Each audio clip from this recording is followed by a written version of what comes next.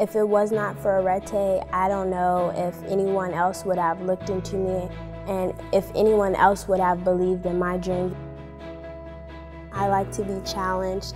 I like to be the best that I can be and I feel like if I'm not in an environment where I am challenged, then that's not where I should be at all.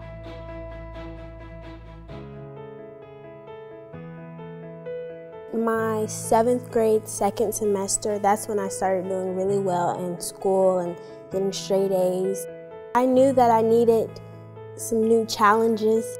I was just like, Mom, I think we need to do something different for high school. She was like, okay, I'm on your side, I got your back. So I began seeking out other opportunities, other schools that would give her the right fit and provide her with what she needed to even thrive further. We looked at many other private institutions, but Woodward was like home.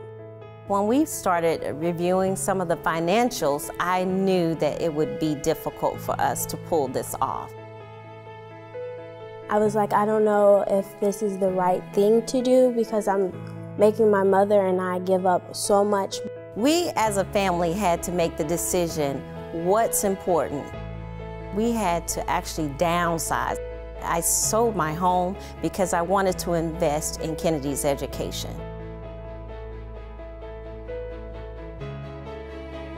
If it wasn't for Arete, I don't think I would be where I am now.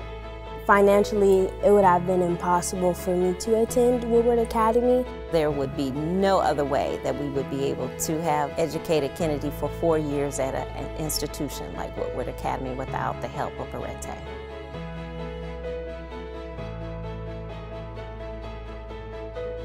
In five years, I see myself in medical school. I want to be a pediatrician because I really like helping and I love kids, so I feel like that's the best fit for me. She's had a dream and passion to be a pediatrician for so many years now, and I can see her fulfilling that goal. So I'm really appreciative of the scholarship opportunity that you all gave me. I don't know where I would have been if it wasn't for you all.